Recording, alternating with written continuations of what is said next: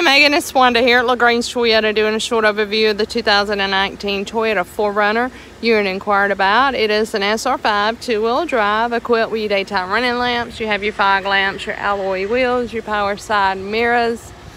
Um, you're also getting just straight cargo in this vehicle. So you have your all-weather mat there for your cargo area.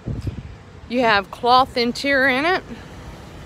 All-weather mats in the floor your touchscreen AM, FM, XM, CD player, backup camera, Bluetooth, traffic, weather, navigation. You have your USB and auxiliary.